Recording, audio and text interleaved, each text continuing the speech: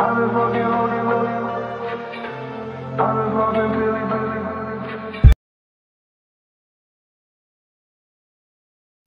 নমস্কার বন্ধুরা, আমি জানতার, আপনারা দেখছেন জয়ন্ত গায়ন ব্লগস। তো আজকে একটা এমন একটা এপিসোড নিয়ে এসেছি যে আপনাদের জন্য খুবই ইম্পর্টেন্ট আজকে আমি শেয়ার করব ফিটনেস রিলেটেড কিছু কথা, যে কথাগুলো আপনাদের খুবই কাজে লাগবে, যে আমাদের পায়ের ব্যায়াম করাটা কেন খুবই গুরুত্বপূর্ণ।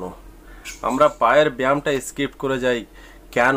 ওয়াই তো আমি সেটাকে আজকে ক্লিয়ার করব আপনাদের সাথে। আমাদের ভারতবর্ষে বিশেষ করে ম্যাক্সিমাম লোক, আমি যতগুলো জিম অ্যাজ এ কলকাতা শহরে দশ থেকে পনেরোটা জিমে ঘোরার পরে যেটা আমি দেখেছি সব থেকে ম্যাক্সিমাম লোকের মধ্যে তারা স্কিপ করে যায় হচ্ছে পায়ের ব্যায়াম। পায়ের ব্যায়ামটা বাদ দিয়ে ওভারঅল বডিতে ফোকাসটা বেশি রাখে চেস্ট ট্রাসিপ বাসিপ শোল্ডার এগুলোর উপরে বেশিরভাগ ফোকাসটা রাখে। তো তাতে করে কি হয়? অ্যাকচুয়ালি আপনার ওভারঅল বডি যদি পার্ট স্ট্রং করেন, তাহলে ওভারঅল বডিটা স্ট্রং কেন হয়? আমাদের হরমোন ডিজিজ যে অটোমেটিক ব্যালেন্স করে, আমাদের হরমোন ডিজিজ যেটা হরমোনটা আমাদের ইনক্রেজ করে। হরমোন ইনক্রেজ কি করে করে?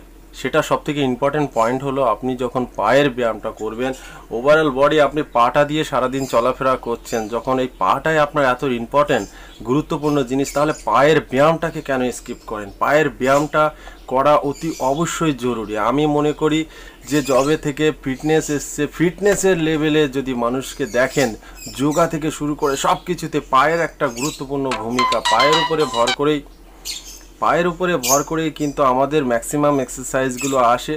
তো সেটার জন্য আমি রেকমেন্ড করব আপনাদেরকে যে পায়ের এক্সারসাইজ কেন করবেন এবং পায়ের ব্যায়াম করা কতটা গুরুত্বপূর্ণ জিনিস। পায়ের ব্যায়াম করলে পরে আমাদের ওভারঅল মাসেলও বিল্ড করতে সহায়তা করে। এছাড়া যদি আমরা পায়ের ব্যায়ামটা করি, তাহলে আমাদের টোটাল বডি ও প্যাকেজ যেটাকে বলা হয় কমপ্লিট বডি আমাদের ঠিকঠাক থাকে। আর কমপ্লিট বডি ঠিক করতে গেলে আপনার মাসেল বিল্ড হয় কিসে? যদি আপনি পায়ের ব্যায়াম করেন, তাহলে আপনার হরমোন লেভেল ইনক্রিজ করে মানে বেড়ে যায়। যদি বেড়ে যায়, সেক্ষেত্রে কি হয়? আপনার, আপনি যখন ব্যায়াম করবেন নেক্সট দিন যে পায়ের ব্যায়াম যেদিন করেছেন, তার পরের দিন গিয়ে যে যে পার্টটা এক্সারসাইজ করবেন, আপনি নিজেই বুঝতে পারবেন যে আপনার পায়ের ব্যায়াম করার পরের দিনে যে মাসেলটা ব্যায়াম করছেন, সেটাতে বেশি পাম্প করছে। অতএব আপনার হরমোন লেভেলটা তখন ইনক্রিজ হয়ে গেছে, বেড়ে গেছে। যার জন্য আমাদের হরমোন লেভেল যখন বেড়ে যায়, তখন আমাদের এক্সারসাইজ করলে পরে নেক্সট পার্টের যে বডিটা এক্সারসাইজ হয়, সেই বডি পার্টটা আমাদের ভালো মতো পাম্প করে। আপনারা জেনে থাকবেন যে যে সমস্ত বডি বিল্ডার প্রফেশনালি যারা বডি বিল্ডিং করে, সেই সমস্ত বডি বিল্ডাররা কিন্তু এক্সট্রা হরমোন অন্য কোনো থেকে ইনজেকশন করে। ইনজেকশন করার কারণ কি? যে আমাদের শরীরে যে ধরনের হরমোন তৈরি হয় সেই হরমোন থেকে আমাদের বডি বিল্ডিং তৈরি হয় না। যদি সেই ধরনের হরমোন থেকে বডি বিল্ডিং তৈরি হতো, তাহলে সবাই ব্যায়াম করে বডি বিল্ডার হয়ে যেত। কিন্তু যদি আপনার বডি বা কেন বডি বিল্ডাররা এক্সট্রা আলাদাভাবে হরমোন ডিজিজ তাদের শরীরে ইনজেক্ট করে?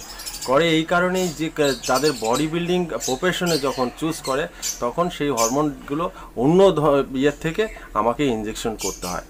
তো সেই জায়গায় আমি বলব যে আমরা ন্যাচারাল ওয়েতে যে যেহেতু বিল্ড করি, তো ন্যাচারাল ওয়েতে খাবারের দিকে আমাদের মেন ফোকাস থাকতে হবে যে খাবারটা যেন প্রপারলি হয় এবং পোস্ট ওয়ার্কআউট যেটা বলা হয় ব্যায়াম করার পরে আমরা কি খাব সেটাকে অন্তত ফোকাস রাখতে হবে।